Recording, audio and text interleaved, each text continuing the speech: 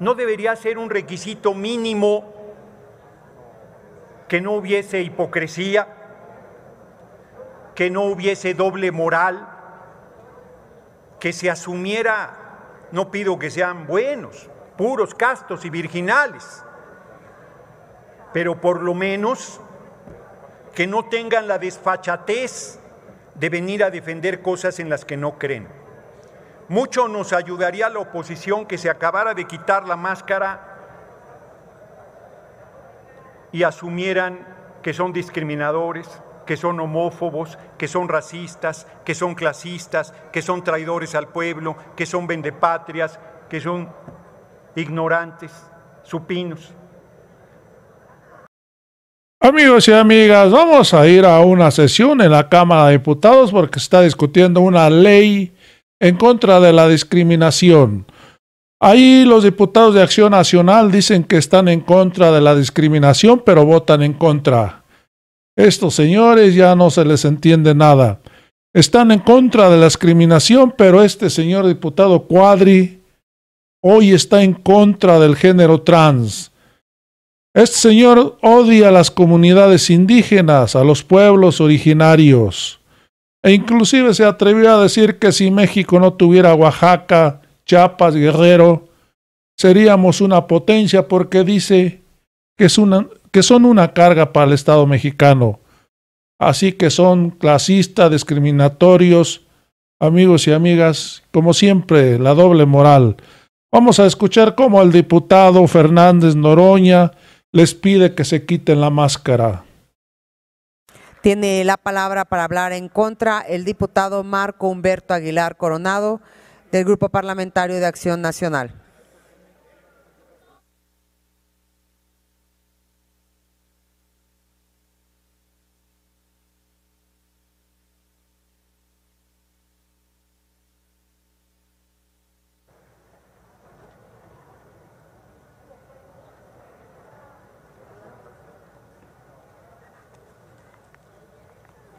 Con su permiso, señora presidenta.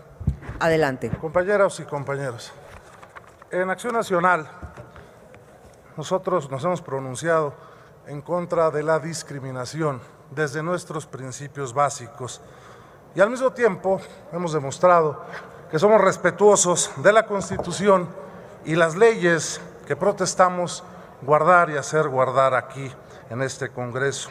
Pero también somos respetuosos de los tratados internacionales de los que México es parte.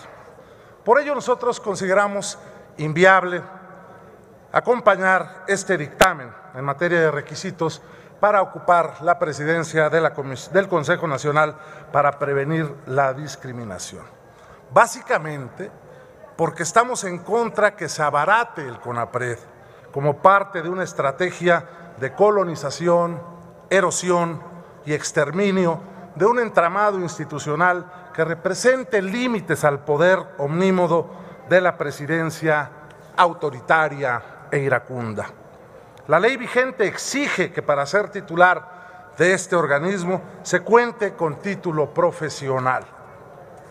No hay que olvidar que el convenio 111 de la Organización Internacional del Trabajo de 1958 ratificado por nuestro país hace más de 60 años, un 11 de septiembre de 1961, dispone en el numeral 2 de su artículo primero que las distinciones, exclusiones o preferencias basadas en las calificaciones exigidas para un empleo determinado no serán consideradas como discriminación. En el mismo sentido, en el artículo quinto de la ley vigente, se reconoce que tampoco será juzgada como discriminatoria la distinción basada en criterios razonables, proporcionales y objetivos, cuya finalidad no sea el menoscabo de derechos. No olvidemos que el 18 de mayo del año pasado, en un infomercial matutino, el inquilino de Palacio expresó que donde más pegaba esa campaña que él habla en su contra, y según una encuesta dice él, o dijo que quienes creen más todas, eh, todos en esa campaña son los que tienen nivel de licenciatura hacia arriba, o sea, que son más los que estudian y que no creen ya en su proyecto. Desde ahí, desde donde se difama y se injuria a quien disiente del pensamiento limitado y elemental en que reside la nulidad de resultados y la infinitud de excusas, también han expresado, por ejemplo, que los que están graduados en universidades del extranjero tienen hasta doctorados, pero son deshonestos.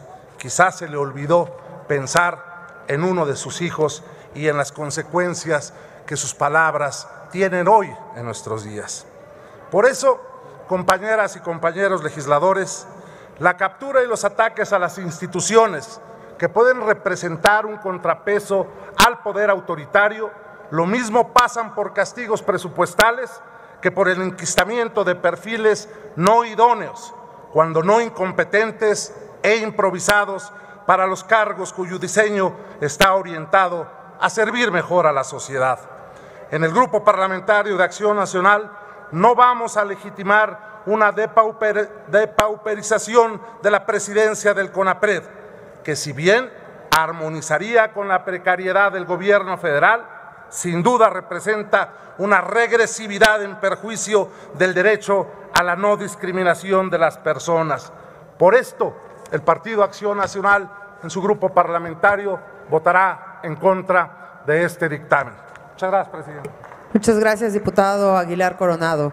Tiene la palabra para hablar en pro el diputado Gerardo Fernández Noroña, del Grupo Parlamentario del Partido del Trabajo, hasta por cinco minutos.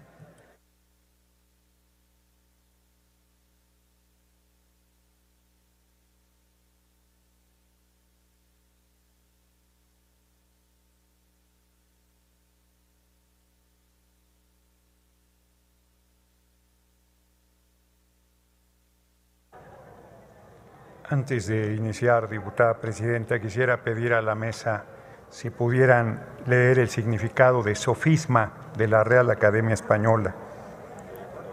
De lectura a la Secretaría, por favor. Sofisma.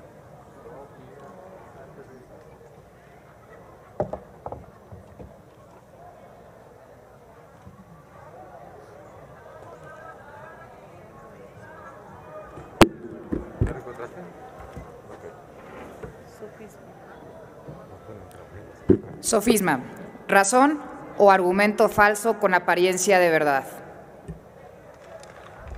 Muchísimas gracias. Eh, Muchas gracias, gracias diputada, secretaria. Adelante, diputado. Gracias, diputada presidenta. Inicio. Efectivamente, Acción Nacional viene a usar un sofisma para cerrarle el camino a seres humanos que puedan encabezar la GONAPRED y justo con un argumento discriminatorio.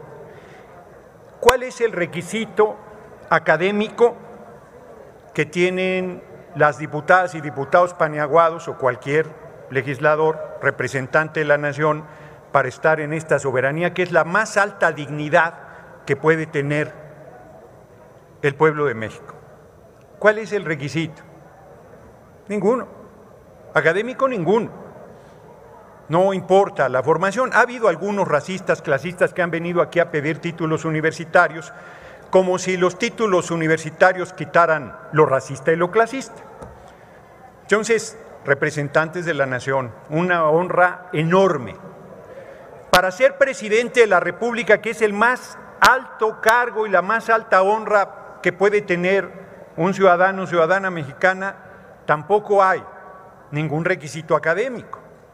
Se entiende que para determinadas perfiles sea necesario cierta preparación, pero para CONAPRED pedir que haya un título universitario no solo es un rasgo discriminatorio, sino es, es un franco abuso. Yo me acuerdo cuando fui diputado en la sexagésima primera legislatura, mi última intervención, se discutía el darle seguridad social a las parejas del mismo sexo. Y oía a los paniaguados en tribuna decir que eso impactaba en el presupuesto del Seguro Social. Y yo les decía, a ver, explíquenme esto. si una pareja heterosexual se casa, no impacta el presupuesto, pero si es de la diversidad, sí impacta. No sean hipócritas, les dije, suéltense el pelo, reconozcan quienes son de diferente orientación sexual y yo voy a defenderlos y hacer que nadie los discrimine ni los persiga por su orientación sexual. De igual manera, yo les digo hoy que para el año 3050 que puedan volver a gobernar, puede ser que alguien de su movimiento no tenga un título universitario y... Permítame, diputado Noroña. Diputado Robledo, ¿con qué objeto? Sonido a la curul del diputado Robledo. En un momento.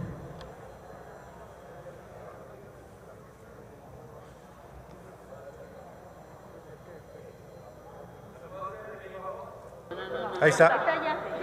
Adelante.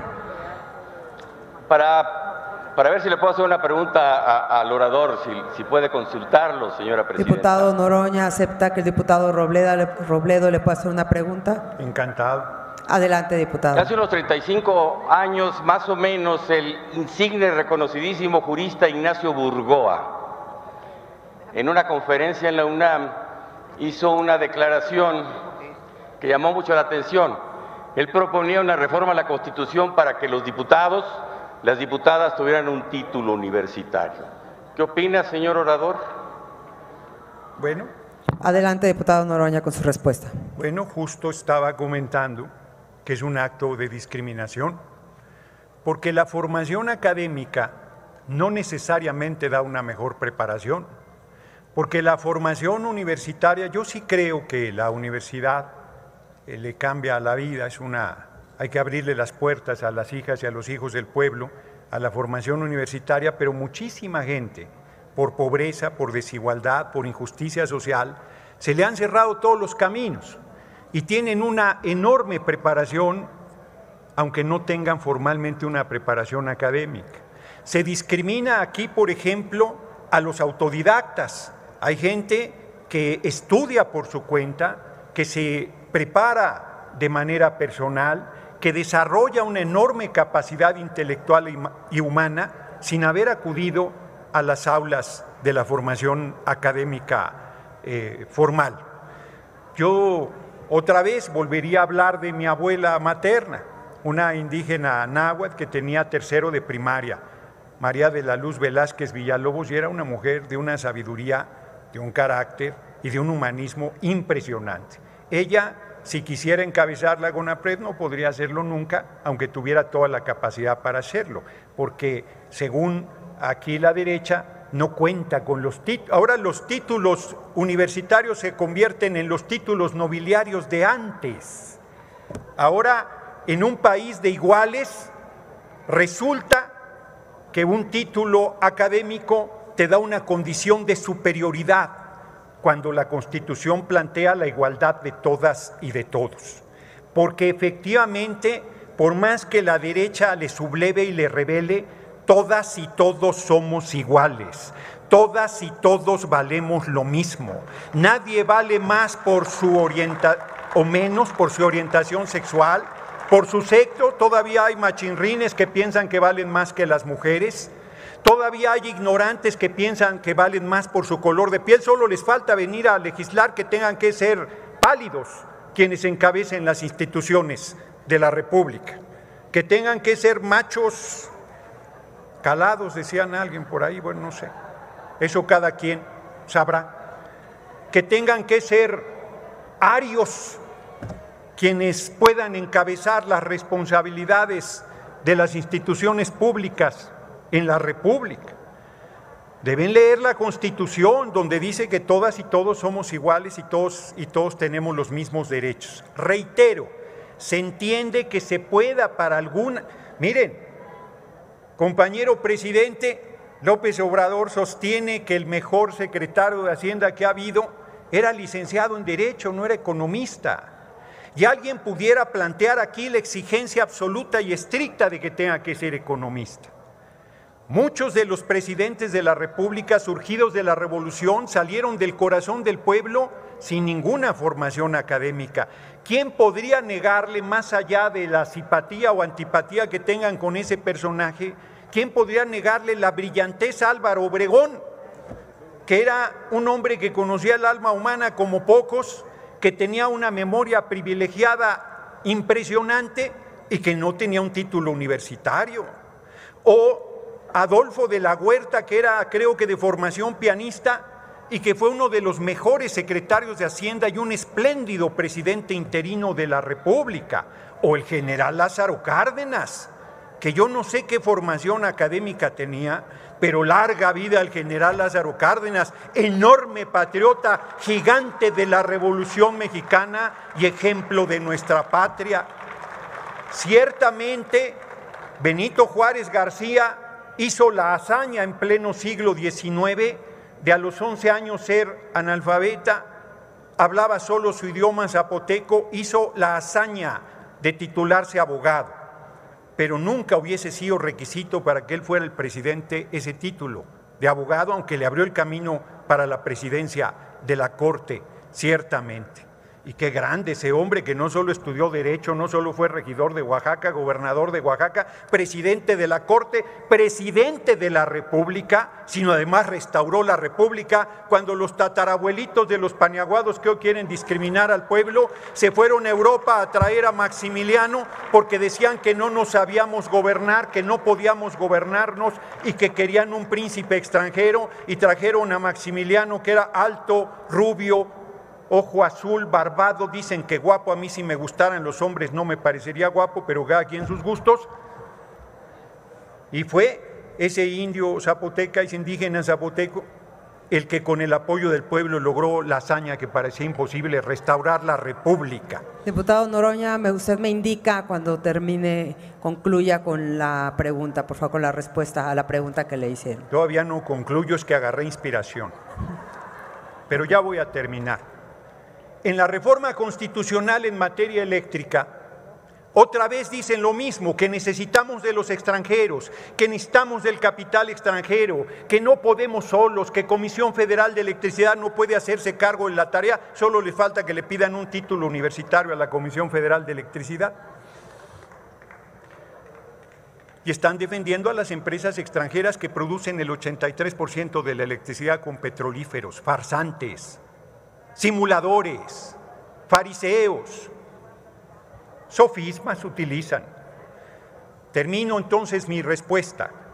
Yo creo que quien vaya a encabezar con APRED no necesita más título que el de ser un ser humano con voluntad de servir a la patria y con un enorme cariño a su pueblo. Me parece que ese debería ser el requisito fundamental. Terminé la respuesta, diputada presidenta. Muchas gracias, diputado Noroña. Continúe con su intervención, por favor. No debería ser un requisito mínimo para ser diputado amar a la patria, tener compromiso con el pueblo, asumir que es el pueblo el que paga nuestro ingreso y que a él deberíamos servir. No debería ser un requisito mínimo que no hubiese hipocresía, que no hubiese doble moral, que se asumiera, no pido que sean buenos, puros, castos y virginales, pero por lo menos que no tengan la desfachatez de venir a defender cosas en las que no creen. Mucho nos ayudaría la oposición que se acabara de quitar la máscara y asumieran que son discriminadores, que son homófobos, que son racistas, que son clasistas, que son traidores al pueblo, que son vendepatrias, que son ignorantes, supinos. Me dijo un compañero hace poco, no odian a López Obrador, no odian al compañero presidente, odian a quien sirve al pueblo, odian a quien defiende al pueblo, odian al pueblo. Deberían ir a hacerse una atención urgente psiquiátrica porque su odio es verdaderamente enfermizo y preocupante. Yo termino planteando, compañeros, compañeras de la mayoría, es el momento de la unidad y de comportarnos como mayoría. No debemos tolerar un agravio más y una conducta más golpista, racista, clasista, apátrida de la oposición. Y la manera en que debemos derrotarlos es con la razón, con los argumentos, con los datos, con los hechos y con nuestro compromiso de servicio a nuestro pueblo. Muchas gracias por su atención, compañeras y compañeros. Muchas gracias, diputado Fernández Noroña.